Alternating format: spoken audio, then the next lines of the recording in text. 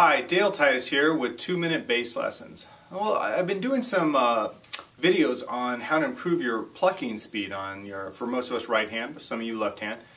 And uh, the response has been really good. I, I was uh, surprised. I didn't know uh, people would really want to delve into that. So we're going to continue the series with more exercises designed to test your agility, build your stamina, and get your accuracy down.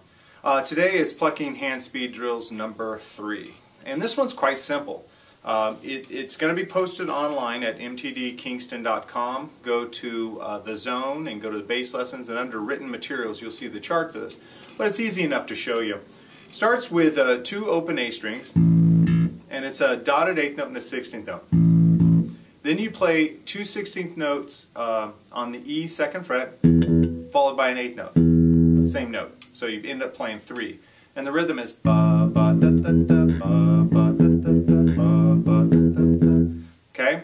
So that's the first two beats.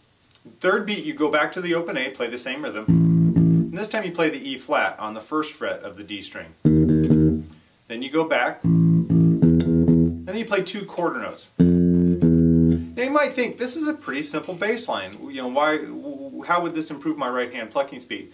Well, in it, we're doing a couple things. We're mixing some rhythms. We're doing a dotted eighth note followed by 16th note. Then we do two sixteenth notes followed by an eighth note.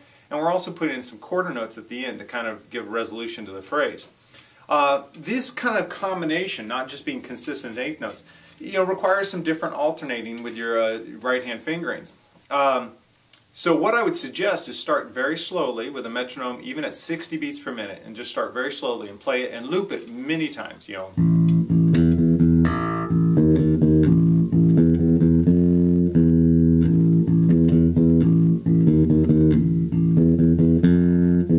Isolate your right hand technique. Are you dragging? Are you raking? Are any notes really loud and other notes really quiet? Then speed up the tempo by 10 beats. Do it again. Speed up the tempo by 10 beats, and see you know how fast you can get it without it falling apart, getting too clanky, or having a lot of misfretted notes. Um, so practice this one. Put it into your routine, and I only suggest a couple of minutes a day. I mean, five minutes max, and you should be able to get from like 60 beats per minute to maybe 100 beats per minute and the next day maybe you start at 70 and try to get to 110, something like that. Uh, and if you do this diligently for a week or so, you're going to see improvement in the right hand accuracy, definitely in your stamina. And a little add-on here, if you play with your amp either off or very quiet, you're going to dig in a little more and make it a little bit more like a weightlifting exercise, which will help it help you when you're performing with a full band.